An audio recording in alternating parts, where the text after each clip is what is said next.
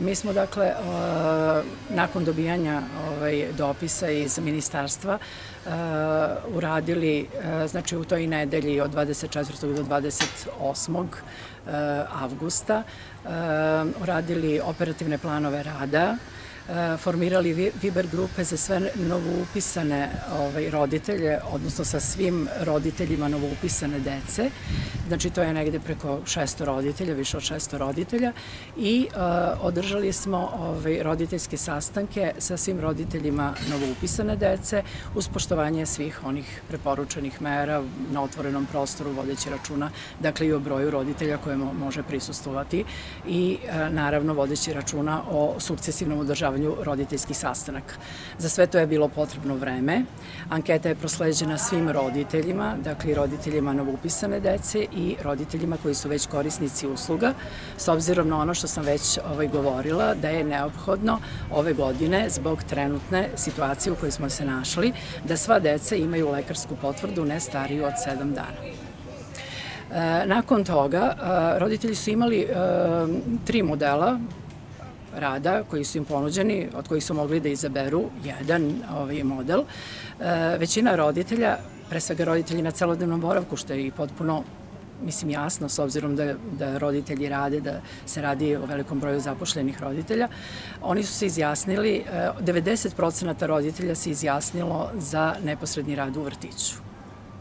Samim tim nastao je ovaj, e, problem dobijanja lekarskih potvrda za veliki broj dece, a za kratko vreme to nije prosto moguće bilo da se odradi u, za jedan ili dva dana.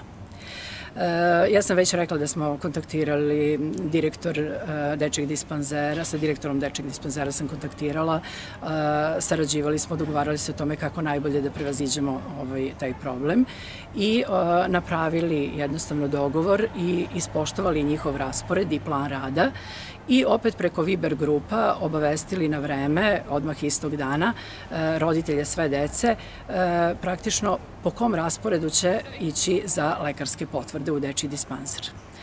E, od tog trenutka se stabilizuje cela situacija, dakle, ove, i mi, iskreno da vam kažem, mi smo, recimo, verovatno su neki roditelji ranije uzimali te lekarske potvrde, prosto su znali da je to neophodno.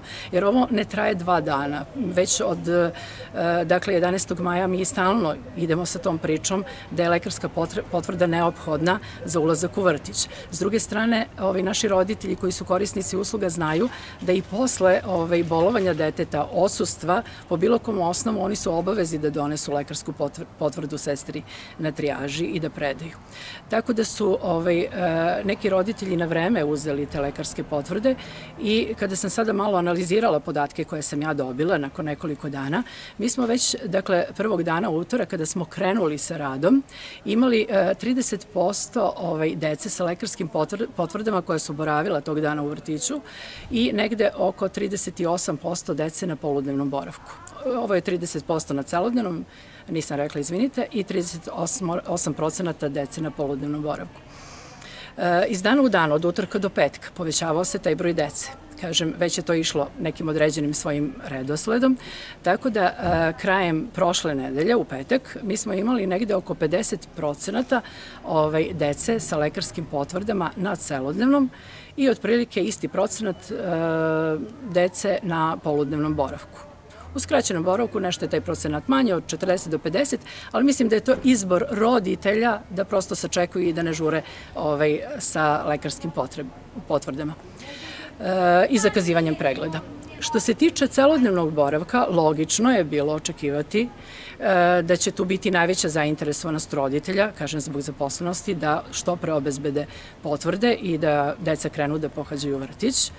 E, tako da već danas, evo nakon ovog preseka koji smo malo pre uradili sa službom koja na tome radi, mi imamo, eto mogu reći sa zadovoljstvom 70 procenata ovaj, dece u vrtiću na celodnevnom boravku, a kažem radi se o roditeljima kojima je i najbitnije da što pre ovaj, krenu deca u vrtić, s obzirom da Eh, zbog čuvanja dece i zbog obaveza na poslu. Dakle, u protekloj nedelji je većina roditelja uspela da obezbedi lekarske potvrde da su deca zdrava i da mogu da borave. Da, da, kažem, već danas, evo sad poslednji presek, pre sat vremena, znači 70% dece je danas u vrtiću, što se tiče celodnevnog boravka, kažem, to su ti prioritetni, u stvari, bili ovaj, roditelji, porodice, kažem, gde su roditelji zaposleni i gde im je neophodna, neophodan boravak deteta u vrtiću.